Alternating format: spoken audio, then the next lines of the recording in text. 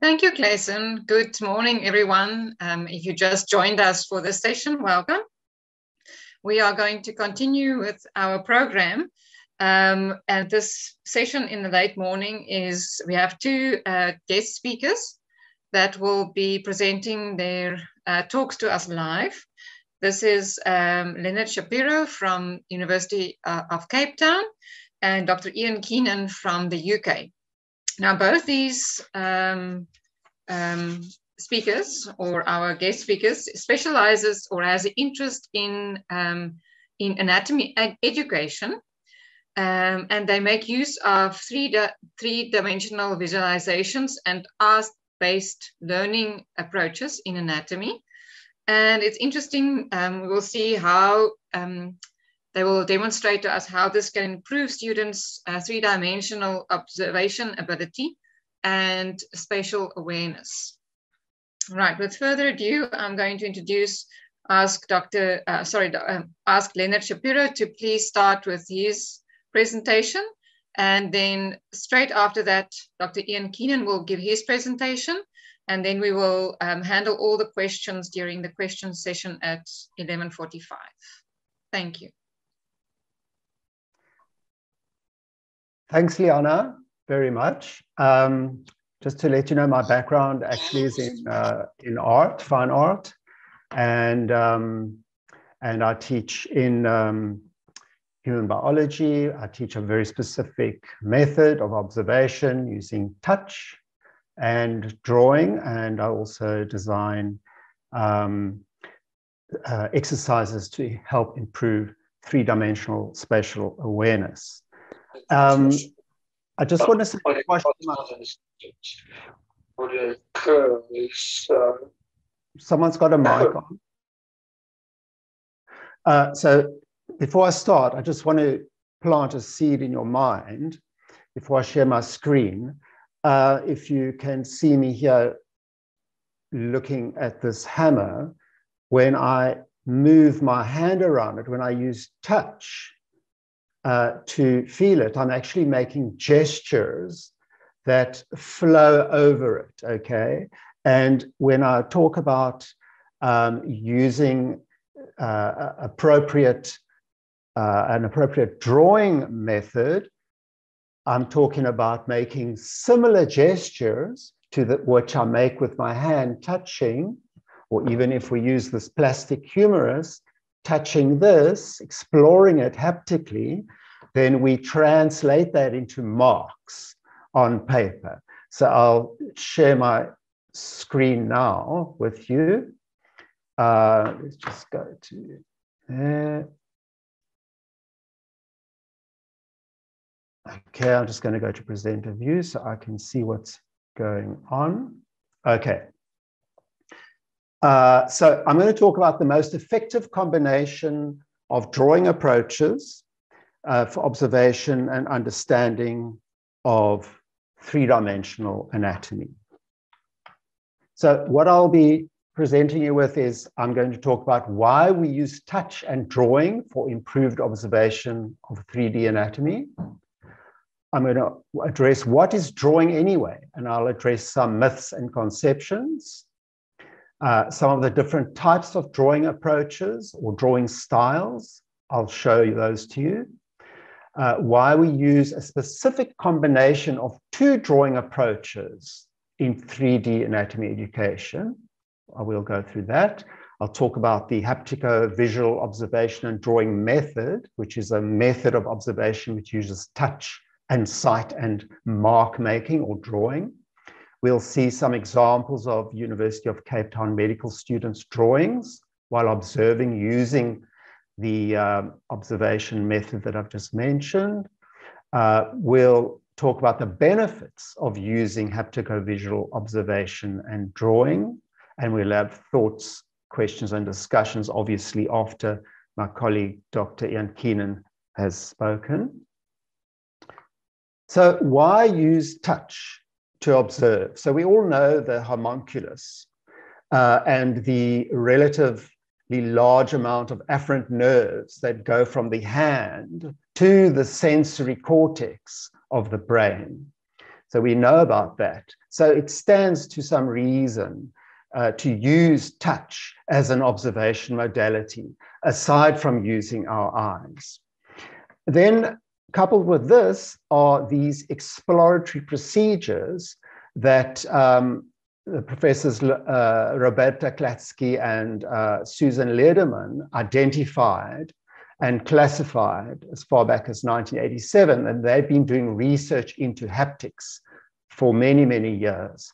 So we have lateral motion, uh, we have global, global shape or enclosure, uh, we have contour following. And remember, I was showing you some movements I was making on the surface of that hammer and the surface of the plastic humerus.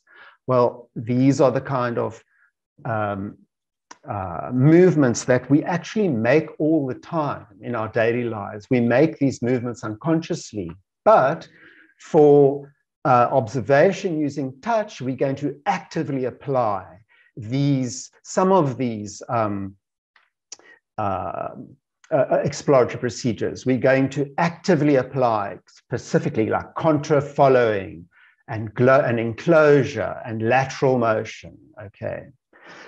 Just to show you what the kind of drawing looks like that comes out using this observation method. And remember, it's primarily observation that we're trying to achieve here. We're not making artworks, we're trying to achieve observation deeper observation of the form of the anatomy. So you can see in this picture that this student is touching with her finger. She's been using her finger to move over the surface of this object, this hammer, this three-dimensional object, and she is translating those movements that she's making with her hand onto paper with marks, with some graphite to make marks.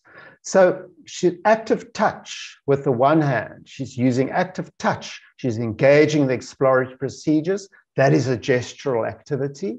And with the other hand, she's making gestural marks on paper. And when we, so she's using actually cross contour and gesture marks to describe the three dimensional form, but we'll get to what cross contour marks are in a minute. So in essence, touch is a sensory gesture using the exploratory procedures that we have um, been, uh, uh, that we saw. Drawing is a motor gesture, okay? So we've got the sensory gesture and the motor gesture, and that is drawing or making marks on paper. So we explore with a sense of touch. Uh, we feel the object, that's a manual gestural activity. We reflect what is felt by drawing it on paper. That's also a manual gestural activity. I'm just repeating for the sake of um, explanation. We explore an object with one hand using exploratory procedures. With the other hand, we make corresponding gestures with a pencil in order to reflect and record these exploratory procedures on paper. Okay. Uh, here we are looking at uh, for example, we all understand this uh, image, this uh, image of a contour map, which has cross contour lines around it. That describes three-dimensional form. In, in drawing, we have what's called cross contour drawing, which also makes use of these cross contour lines, okay? And then we have something called gesture drawing. Now that uh, is actually a, a hand, a, sort of a fist, that has been drawn really quickly. So in the same way that you move your hand over the object really quickly, or not quickly, um, at a haphazard way, you make marks as well. So the combination of cross contour and gesture drawing is what we're going to use. Before we go to see some of these images, I want to just clear up the misconceptions about drawing because a lot of people think I can't draw, but actually everyone does draw everyone can write, everyone can make marks on the back of envelopes when you're thinking and trying to describe things to people. Clinicians make um, notes and show, you know, uh, make drawing notes and show them to patients by way of explanation. So we all draw. Um, and I just want to read you this quote from Professor uh, Dowd, who's at the Art and American Culture, professor of Art and American Culture Studies at Washington University. He wrote a book, an amazing book called Stick Figures Drawing as a Human Practice. And um, he says all human markings are descendants of primordial drawings in dirt. The symbolic projection of human mentality began with a finger in the sand and then a stick in the clay. From that stick came the calligrapher's brush, the pecker's rock. From the very beginning, human thought has been built with lines on surface.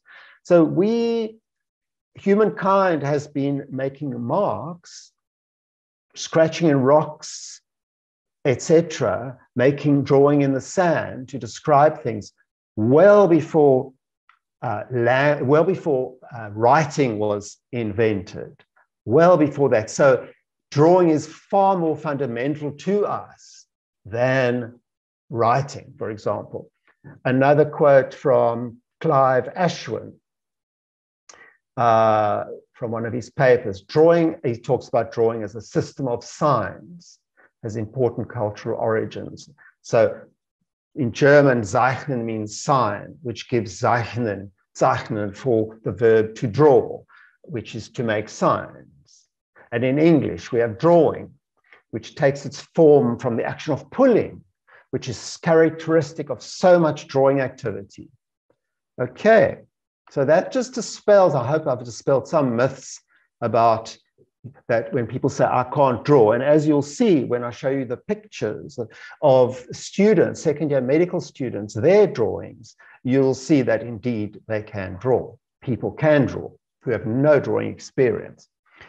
So drawing is actually an umbrella term. And we have a number of different drawing styles, which are in art, the art world called drawing approaches. Okay. We have hyperrealistic drawing, we have shading from light to dark. We have cross hatching. We have contour drawing. We have cross contour drawing. And we have gesture drawing. And now I'll illustrate those to you. The drawing on the, the drawing of the man is sort of shading from light to dark. The drawing of the woman is, um, is, is, is a hyper realistic drawing, okay? So this is not the drawing approach we want to use because it does not approximate the a kind of hand gestures that I was talking about. Okay. This is cross hatching. It's another drawing approach, another drawing style where you use um, straight lines at uh, right angles to each other to build up um, sort of shape. Okay. But again, this does not give us what we want to do because we're primarily observing, okay, and we want to use touch and drawing to observe with, okay. This is called contour drawing, where it's pretty much just the uh, line, a single line, or singular lines that are outlining an object. Now we get close to the kind of drawing marks that we want to be making, and this is uh, a drawing by a famous artist, sculptor actually, called Henry Moore. And you can see the marks that he makes uh, uh, are contour, cross contour lines that he uses to describe shape, to describe three dimensional form. This um, wireframe um, of this hammer is showing cross contours, which also describe form. Okay. So conceptually, they are the same. The one is a famous artwork, the one is you know, uh, taken off the internet. This is gesture drawing. So this is an artist called Alberto Giacometti, another famous artist who's no longer with us, but he um, uses gesture. So he's using very quick, um, haphazard lines. So what we want, okay, is to take gesture drawing, okay, on the on the left, plus cross contour drawing equals, well, I don't have a name for that kind of drawing. It's a combination of cross contour and gesture drawing. And you can see how this hammer, the form of the hammer, the shape, uh, its, its positioning in space is very well described if you look and analyze each mark. As I'll show you again, these marks have a semiotic value. Okay, they have a value. They describe the form and the structure. The point, again, I must emphasize, is that when uh, when one feels the hammer with one hand and draws it with the other hand, primarily what's taking place is observation and memorization.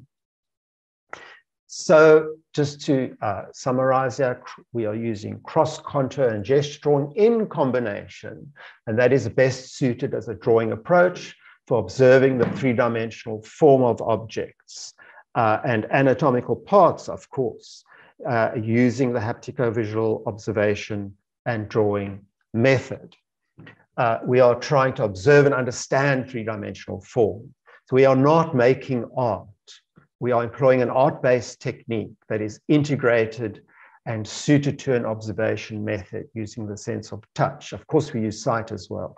Our primary aim is observation, and the drawing records what we observe and also assists in the observation process. So here we have a class from the University of Cape Town in an anatomy, observation, and drawing special studies module. Uh, and they're busy drawing. Uh, so let's look at this drawing that was done by one of those students. The drawing itself, even though it looks very crude, if you look at the lines, these lines are showing where the person, where the student has touched the object and, and, um, um, and has recorded it on paper. So actually, if you look at this drawing, it's showing multiple perspectives of this one object. Here is, is shown this part. Uh, here, that line is referring to, to that part, you see. Uh, those lines refer to that part. So what's happening here is, what's happening is, again, observation. Let's look at that drawing that the second year student has done with no art training, and the drawing on the left, which is a drawing by a really famous artist. His name is Frank Auerbach. He's one of Britain's most celebrated artists. And you can see again with his drawing, there's a semiotics, there's a um, the draw the marks have a descriptive value.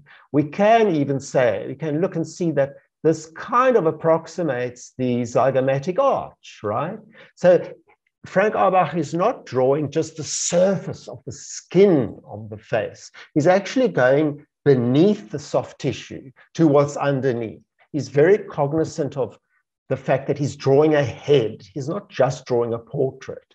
So all of these marks have a value. They have a descriptive value. And similarly, what looks like a crude drawing is, in, in, in my view, as an artist, a really, really good drawing. Here is a drawing by a, a, a, um, a, pediatric surgeon from uh, Red Cross Children's Memorial Hospital. She was doing a, CPD course with me. I was teaching this to a number of registrars and look at the marks that she's making while she's exploring this um, humerus. Remember that all the cadaveric material in this presentation are from the teaching collection uh, from the University of Cape Town. Okay. Uh, oh, sorry.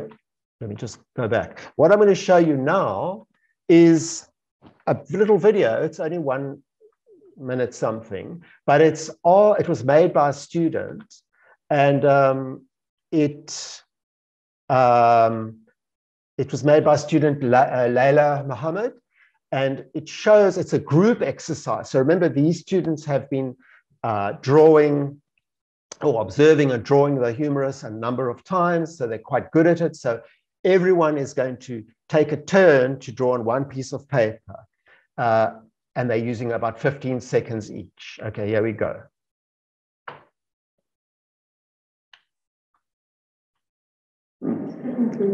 Okay. Right, so let's go.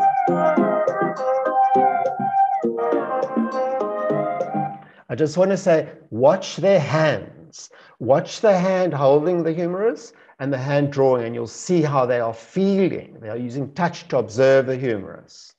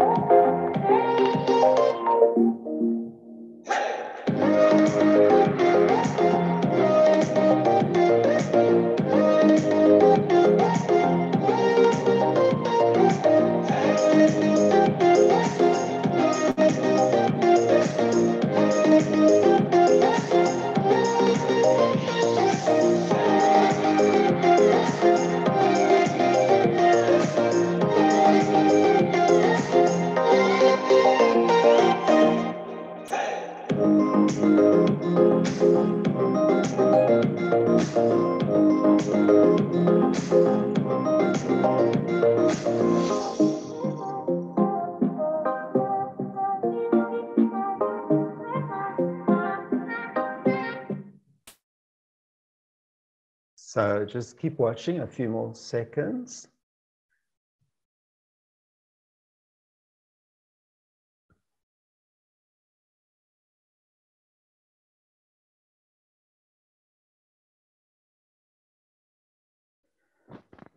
Okay. Oh, there we go. So it's a, it was obviously a, that's a group exercise. All right. Just wanted to show you what it looks like when we draw using haptico-visual observation plus drawing. Um, sorry, I should have said what it looks like when we observe using haptico-visual observation and drawing. If we look at this, uh, this drawing is a focus on the um, mandibular condyle. You can see that the photograph, okay, there's the photograph of the uh, mandibular condyle and the, and the mandible, uh, but um, if you look at the drawing, the drawing, I believe, shows more in terms of the marks. It describes the form much more, much better, which is why we have botanical artists who paint and draw a flower in order to accentuate certain features. Uh, you know that if you look at uh, like Netter and um, and Carlos Machado's drawings and, and illustrations, rather. These illustrations are there because if you so to accentuate and show different anatomical structures. So um, um, okay, so I think that yeah, that's the, the point I wanted to make. Um, yeah, that point I wanted to make is if you have a photograph, say of uh, the upper limb, uh, a pro section of the upper limb. Um, and you just have a photograph. What are you going to say? You, will you learn more from the photograph or learn more from the illustration? Well, of course, both are good. And that's why uh, dissection is good, pro sections are good, and, and drawing them is very good. Okay. Just again, the, to show you the marks that people make. These are marks from two different people, uh, drawings from two different people.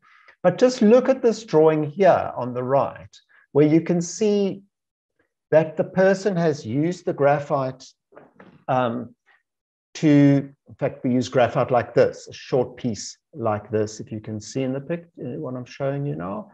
But they've used pressure over there to to, they've actually applied man, they've applied uh, pressure manually.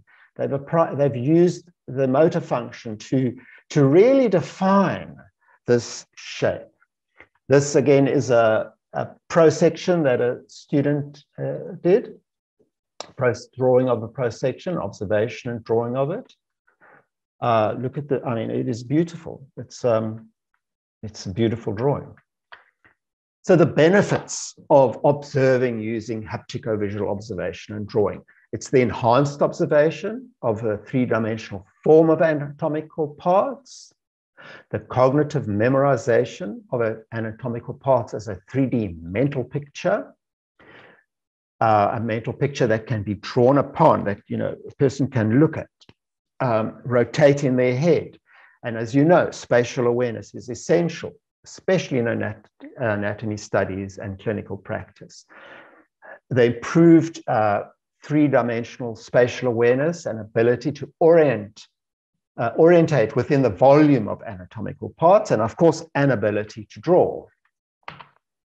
This uh, is uh, showing uh, the um, observation of the orbit and the zygomatic arch primarily, and you can see the, the drawing on the left, and just compare them, have a look at the close relationship between them.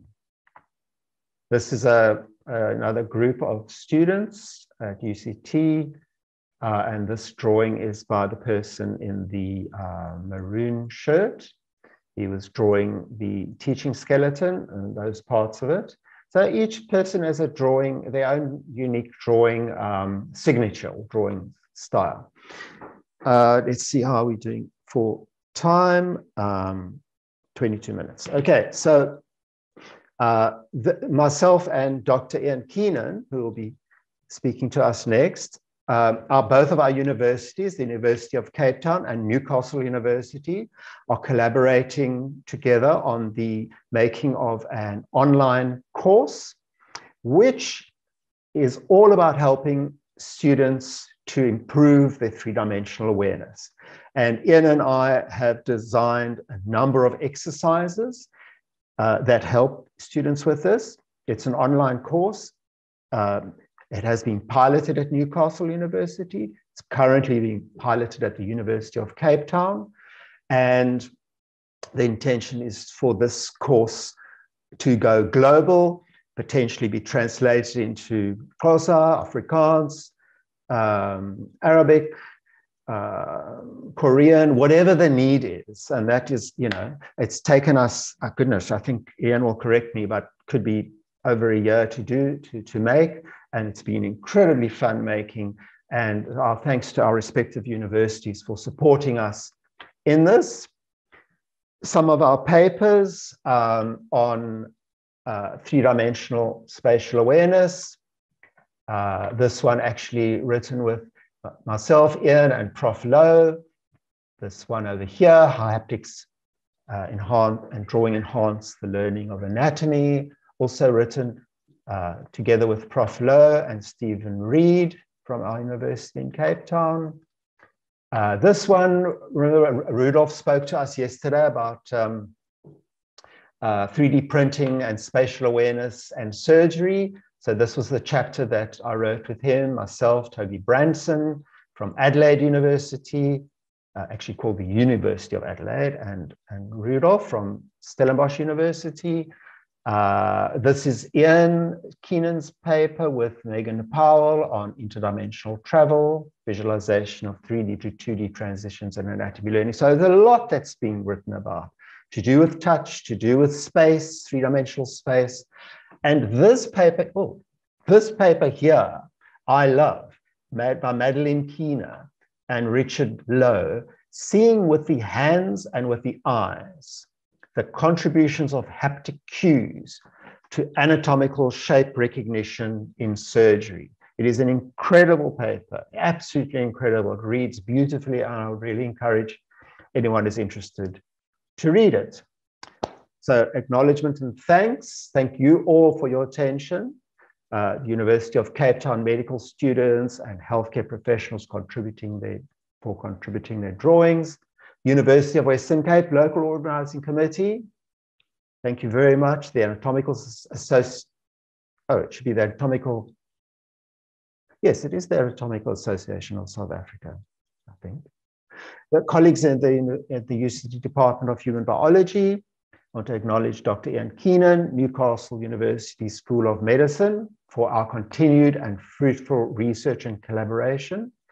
And uh, we acknowledge with gratitude the contribution of body donors to the UCT Division of Clinical Anatomy, Anatomy and Biological Anthropology.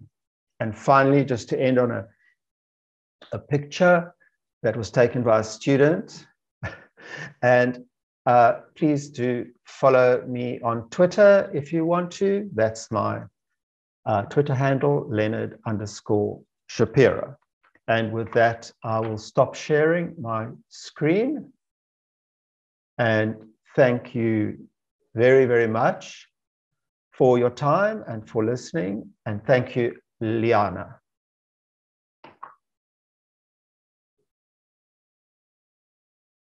And thank you, Liana. Thank you, Leonard. Sorry. um, thank you very much for your talk. There is two questions, but I think we'll just carry on with Dr. Iain Keenan's uh, presentation before we actually get back to the questions. Dr. Keenan? Thanks. I hope you can all see uh, my slides okay. Um, yeah, thanks uh, for the invitation uh, to the organisers and thanks, Leonard, um, for that interesting talk. I'm just going to expand on, on some of what Leonard's been talking about there in terms of some of the, the research that we've been doing on uh, the approaches that Leonard's been mentioning. So the, the haptico-visual observation and drawing, but also a, a new process that Leonard's developed that we're calling haptic surface painting.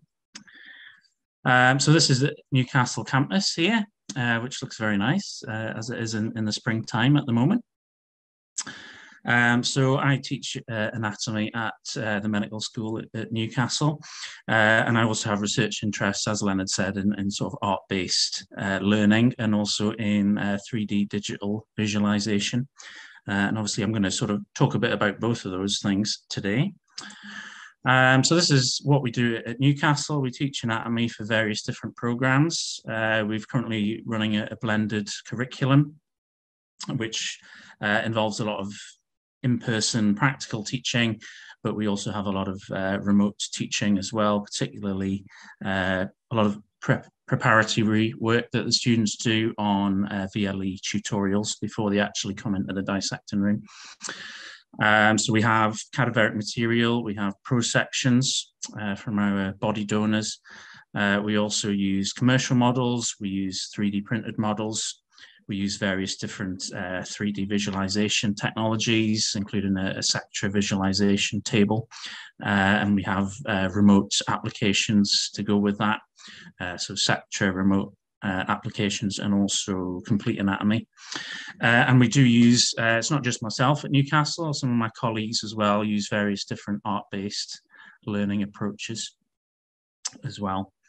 Um, so this is kind of our aims at Newcastle and my aims uh, in my research with Leonard is that we re we're really interested in having students work with us on our research. It's really valuable to have their input on our research, but also it's really valuable for them in terms of the, the transferable skills that they can develop. And so what we like to do is we want to generate research-led, evidence-based approaches to anatomy learning.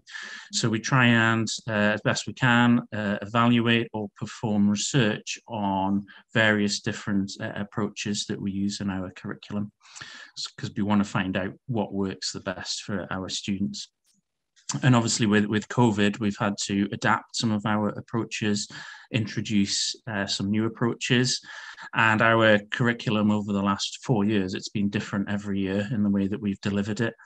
Um, and so obviously going forward next year, it'll probably be different again. So we've got to think about how we're going to adapt uh, how we do things. Uh, and as Leonard mentioned, these are some of our publications uh, looking at art-based uh, learning in terms of observation and visualization. Um, so we've one that uh, I don't think Leonard mentioned was our 12 tips paper for art-based uh, learning, although that's sort of five years old now. Uh, you might find that useful if you do have any interest in, uh, in using art-based approaches. Uh, and we do have other um, papers as well that you might want to read.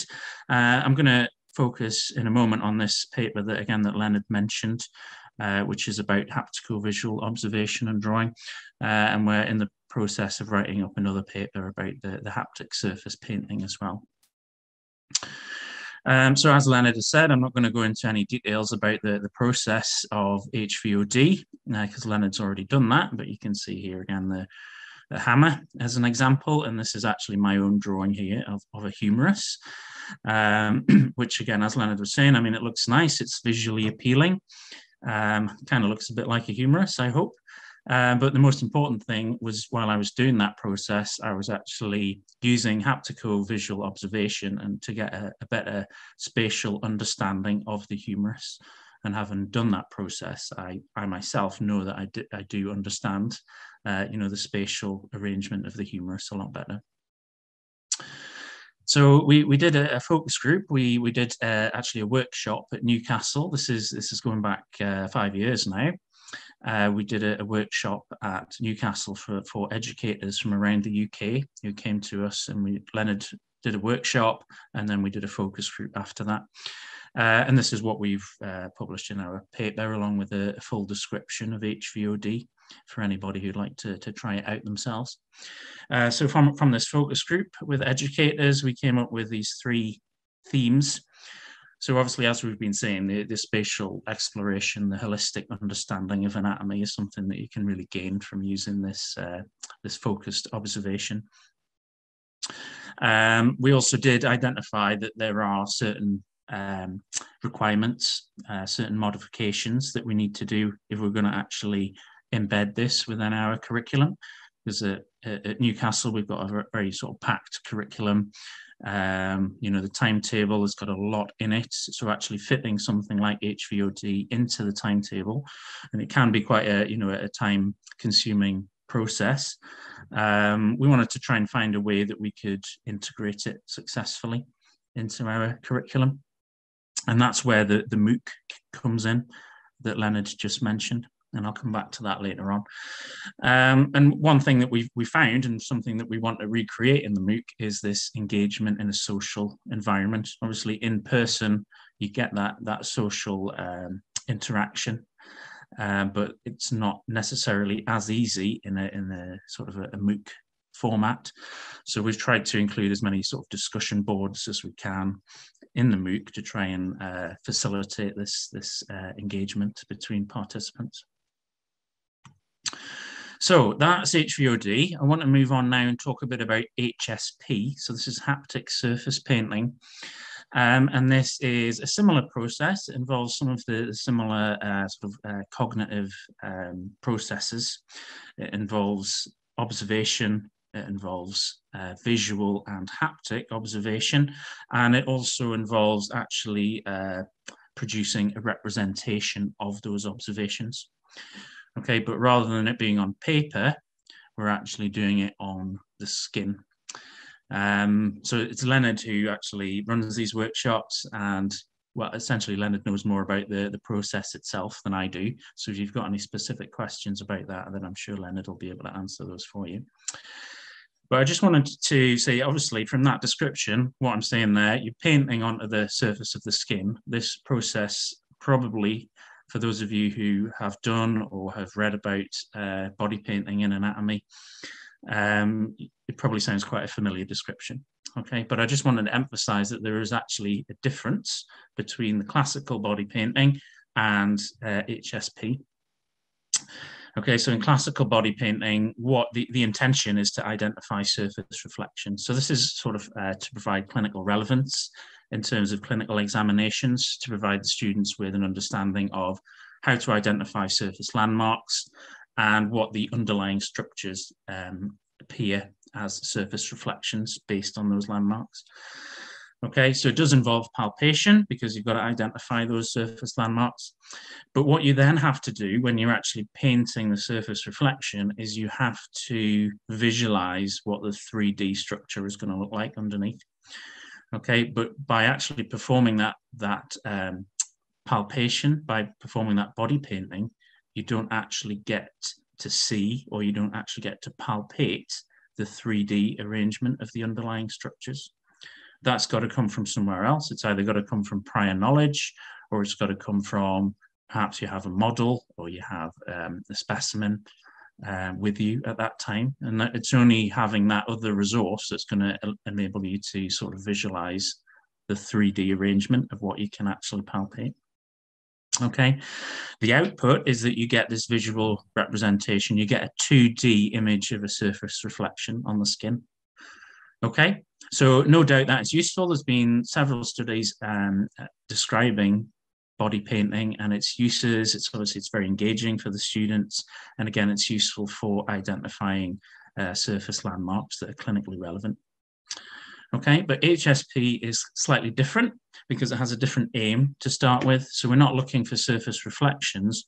We're actually trying to understand the 3D arrangement of the structures that we can palpate Okay, if that makes sense. So there is a, it's a, quite nuanced, but there is a, distinction there between the two processes.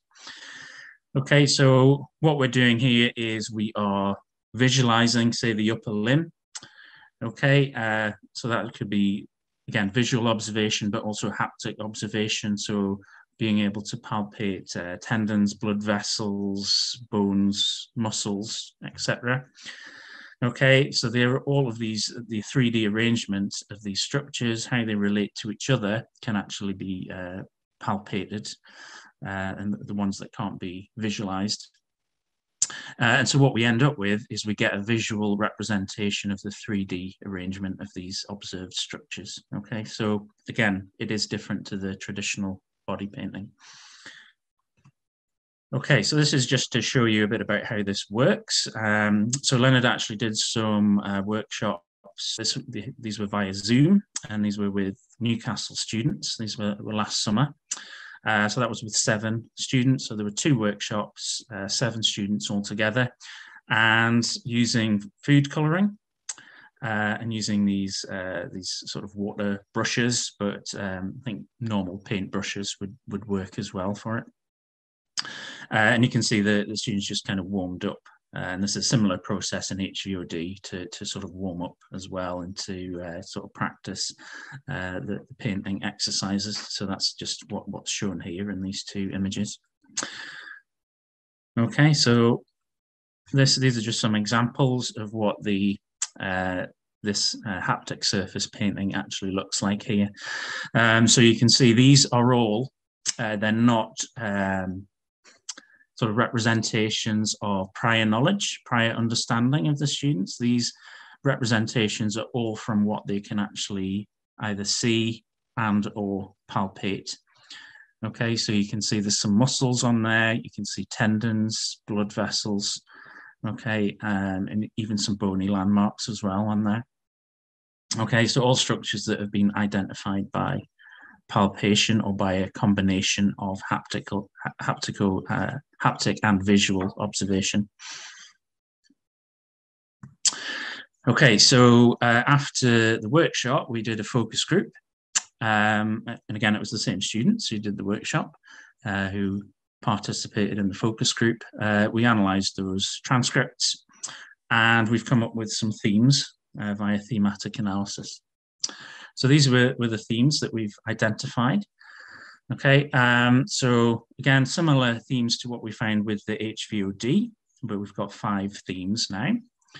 Um, so it is, uh, again, important in terms of visualization, 3D understanding. A lot of the students identified that there were potential clinical applications for, for this kind of process. They felt that they got a deeper uh, and a more holistic understanding of the, the structures that they these students, I should say, had actually learnt uh, the anatomy of the upper limb previously, but they felt that they actually got a better understanding of the structures from doing the workshop and certainly sort of solidified uh, their understanding. Um, they found it engaging. Um, they had some comments about how accessible it would be, uh, whether it's possible to do it in person versus via Zoom. Uh, and again, similar to HVOD, there were some suggestions for how we could modify it, how we would integrate it into the sort of the packed curriculum that we have. So these are just some comments um, from uh, the students under each theme. so you can see there, I'll not read them all out, but you can see that they, they do find it useful in terms of visualization, um, especially if they're, they're doing a clinical examination um, and assessment uh, they, they could kind of go back to their their experience uh, to sort of help them to visualize the structures. Um, and you can see there for musculoskeletal, uh, and obviously we were doing the upper limb, so we were looking at a lot of musculoskeletal structures. They said that that was really useful. And again, they, they, they, they saw that link there with, with clinical examination. Uh, and this was, these some of the comments on the second theme. So again, this was uh, something that we we found with HVOD as well is that it does um, it does support uh, a different way of thinking about anatomy, uh, and we know that it's really important in anatomy is is is sort of approaching it from different points of view can be really useful using a variety of approaches uh, in order to get a holistic understanding. Um, and you can see from those comments there that, uh, that this process has, has helped with that. So a lot of exploration, a lot of sort of deep uh, consolidation and understanding. Okay, so um, we we find from these comments that the, the students really valued the support from Leonard during the workshop. Uh, they found that a small group was really useful um, and they found the discussions really useful. And this goes back again to the HVOD where we found that the social interaction was really important in that process as well.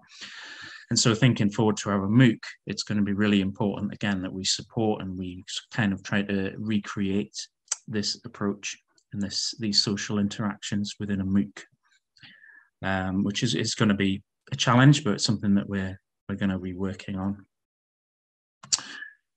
Okay, and again, engagement, um, and this is some uh, some comments here again, going back to what Leonard said about uh, it's not about being artistic or having an artistic background.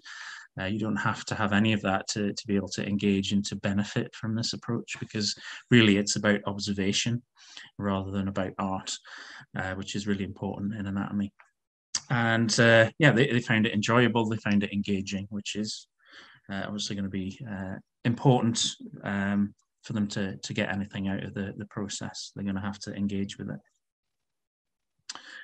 And again, some of the mod modifications, um, they, they felt like they might sort of need some sort of a, a prior introduction to the process, some prior un understanding of the anatomy.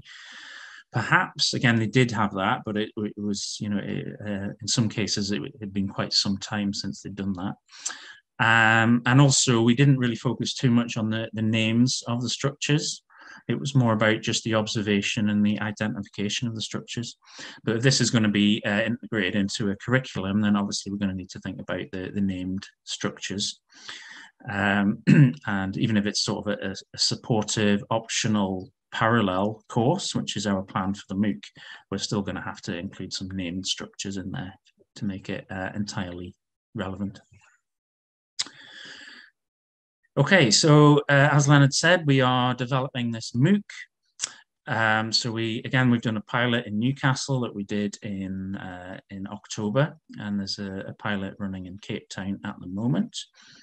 And the the MOOC at the moment just involves some of the sort of a basic introduction. So the the pilot is sort of an introduction to an understanding of 3D anatomy. So the idea is it's sort of aimed at any level um, but that's got to take into account novice students who've never done any anatomy before. Okay, and we've actually done this with uh, postgraduate courses as well, uh, and uh, who are actually um, using ultrasound, um, and they actually found the, the, course really useful for actually uh, visualizing structures in in ultrasound. So essentially, what we this comparison here is that we're, we're showing the, the heart as a, as a lemon, uh, as a 3D structure, essentially.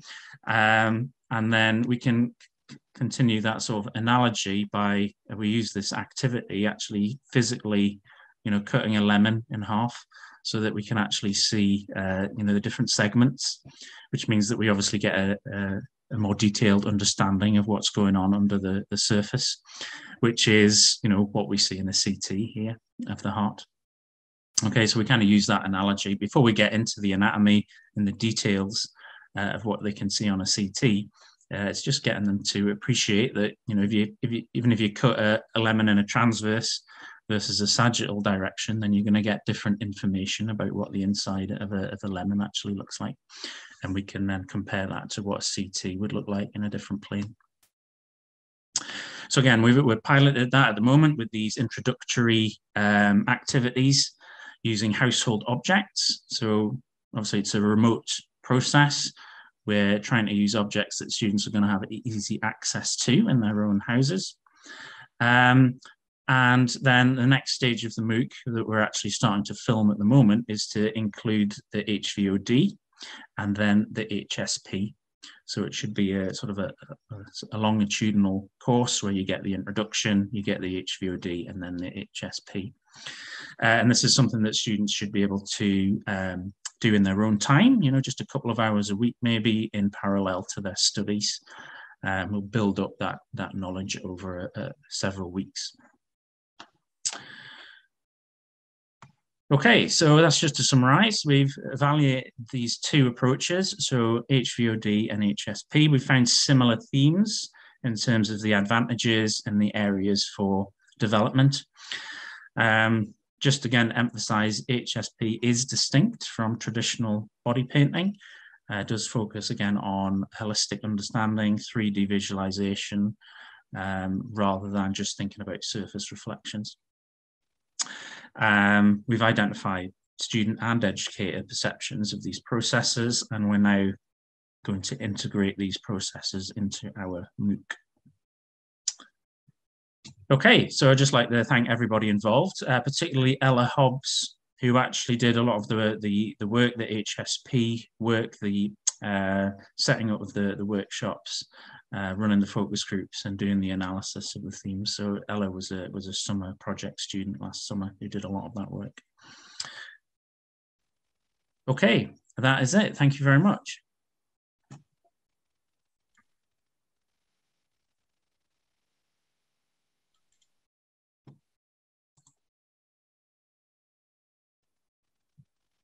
Thank you, Dr. Keenan, for your presentation. Uh, really interesting.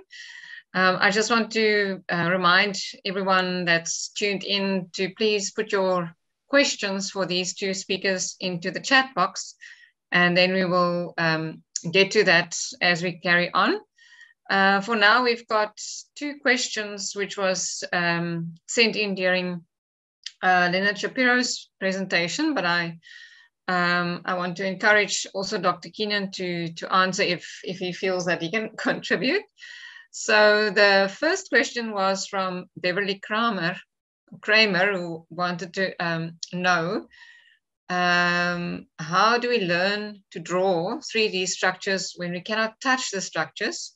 For instance, to demonstrate embryological processes or histology. Does this just come from learning to draw structures we can touch? Okay. Uh, yeah. yeah. I'll address that. Um, thanks, uh, Bev, Prof. Kramer. Um, so actually, I can't remember her name now, but at UCT, I was called to do uh, to, to, to, to help students understand embryonic folding. And for that, we took uh, modeling clay, three layers of it, and then, you know, uh, used that to, to fold over. And then I added another step, which, which was to use their, their rulers to cut the modeling clay in half. So to, uh, to bisect it um, along the sort of sagittal plane, as it were, I think, and, and then to observe what was inside. So there was a lot of haptics involved. There's a lot of touch involved in that. Um, then if we go to say histology, I remember the very first, uh, one of the first few workshops I did at UCT. In fact, uh, Dr. Geney Gunston was in that. Dr. Robio Bala was in that. Um, and we looked through um, the mics, the, mic the microscopes, and at slides, and a challenge was presented as to how to understand this, uh, the relative sizes of the different um, cells, okay? And so I devised something for that, which was, you know, to really just draw, uh, touch and draw coins that we have, five cent coins, 10 cent coins, etc., and to, under, to, to get an understanding of relative size and then look through the microscope and, and draw what, what was there. And it did work. So essentially, Prof. Kramer, there, um, there are many ways to apply, say, art-based methods. And in the paper, the one paper that uh, Dr. Keenan showed us, which was about the 12 tips uh, for art-based methods, art-based techniques in anatomy education. Um, in there, there are a number of techniques also that relate to uh, a number of different art-based methods that can be applied um, to that. But definitely, Prof. Kramer, we'll, we, we, we can correspond as well offline. That would be great. The other question I think from someone was about, for me, was about um, when the course will become available. Right, uh, that was from Francie Dorfling. Yes. So, so uh, Dr. Dorfling or, or Dorfling or Professor Dorfling, um, I'd be very happy to run a to talk to you and run a workshop for yourself and your students. Um, so I've got your email address and I, I will be in touch. So uh, when will it become? Well, it's always available, but when will the MOOC become available? So that's the MOOC, by the way, stands for Massive Open Online Course. It's basically when the course that we've designed between uh, uh, Newcastle and UCT, uh, when that becomes massive. In other words, when it goes global. so that's that's what that is. Um, uh, yeah, if that answers the question. But uh, yeah, okay. yeah. Yeah. So it's a, a Canvas-based course, which means that uh, the way that Canvas works is that you can actually add users to it, which is really good because our previous VLE you weren't able to do that. Um, so at the moment, we're just coming up with a, a process um, where we kind of have a, a, storefront, if you like, so people can actually come and sign in and use the course. But we're currently in the process of setting that up. So hopefully, um, we will have it launched in October. So that's for the start of the academic year at Newcastle, is the plan for our students. Um, and I would hope at the same time that we would make it available um, to others. So it, whether that would be you know other institutions or whether it would be beyond that, we're not really sure of the details of that at the moment. Uh, we're hoping, obviously, because it's a, a, MOOC, to make it free, but there might be a small nominal charge that um, that we have to, uh, you know, we have to include. Uh, but we're hoping to avoid that if possible. Um, and yeah, just going back to the other question as well about the um, sort of the, the touch. So the part of, part of the MOOC itself, obviously because a lot of it is remote, uh, what we're trying to do is to use these or encourage the participants to use these household objects um, so that they can actually use and palpate those. But obviously, a lot of things like embryology, like histology, when it's not possible to, to palpate, uh, is going to be a challenge. And I think they, they are sort of challenging areas of learning in any case. But we're not just focusing enti- entirely, although we know that there are advantages of uh, observation, visual observation and haptic observation, and combining those. It's really important that you know some areas of anatomy we can just use visual observation. Um, maybe using different tools, different approaches. Again, as I was saying earlier, really important for, for students to get a variety of different ways of looking at anatomy or embryology or histology. Um, ideally, they would use both visual and haptic, as I said, but you know some of them they might be using a particular 3D app. So, for example, at Newcastle, we've got something called the, the Human uh, Developmental Biology Resource Atlas, and that's actually has um, uh, human embryos, digital representations of human embryos that can you can actually, students can actually interact with. Um, so that's kind of a, one approach. We've got another approach alongside that where we use interactive PDFs where students can rotate the embryos. And again, as Leonard was saying, something that we we do as well is use sort of modeling clay as well to uh, to demonstrate things like the uh, what's really useful is, is demonstrating the heart tube and how it folds um, because that's quite a, a, complex situation as well as the, the folding of the embryo itself the actual folding of the heart tube uh, it can be really useful. So yeah i hope that that kind of answers that that question as well. Thank you. Thanks for both of you for answering those questions. I think it's very interesting. Uh, just a question from myself.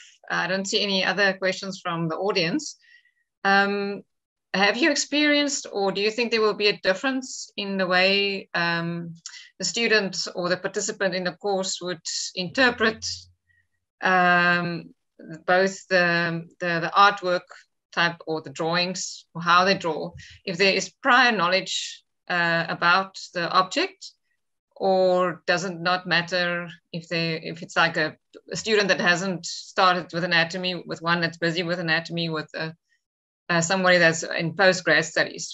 Is there is there any difference in the way they interpret this course? I mean, I, I would say that the, the course is intended for, for anyone. Um, you know, as I mentioned before, and like I said, we, we when we have used it with postgrad students who are actually, you know, again, uh, they're actually using ultrasound clinically um, in their their current roles they've got a lot out of it because it even though they actually have done anatomy before and they're doing this on a daily basis it does provide them with a different perspective and a different way of thinking about things. And a lot of the comments that we even had from the, those postgrads was that oh yeah i never really thought of it like that or i'd never really considered of looking at it, at it in that way. For example with the sort of the lemon exercise and cutting it in different planes and seeing it from different perspectives then they found that really you know really effective even though again it was something that they'd done a lot of. Um, but yeah, I mean, ideally, I get we, we want to to get to the stage where a lot of students, when they are novices, are doing this first of all, so that they have experienced uh, a course like this or had some sort of training, some sort of understanding in 3D spatial awareness when they start. Ideally, before they even start learning the names of anatomical structures. I think it's really important to get that spatial understanding. Yeah. So just to follow on from what Iain was saying, that like spatial awareness is actually a cognitive function. It really is a cognitive function. And um, I was once called to help radiation oncology planners to improve their uh, their um, spatial awareness fun- spatial awareness ability because you know they're looking at a flat screen and to the extent that they understand, and they were planning for radiation in the head, and to the extent that they, under, they understand what the volume of the head is all about. So, what that understanding is in their mind, okay, is the extent to which they're able to plan better. And they reported back to me that they were indeed able to, to plan better, knowing, you know, what the head is inside by using some of these exercises, including uh, observing with touch and, and drawing. Yeah. Mm-hmm. Okay. Very interesting. Thank you so much. I don't see any other questions, so I just want to say thank you again to both our guest speakers. It's a very interesting topic. I think um, I've learned a lot about maybe how to in interpret um, anatomy or how to teach students to interpret anatomy. Um, so thank you very much, uh, both Leonard and Iain for your presentations this morning. Thank you, Thank you. for having. Yeah, it's been great. Thank you.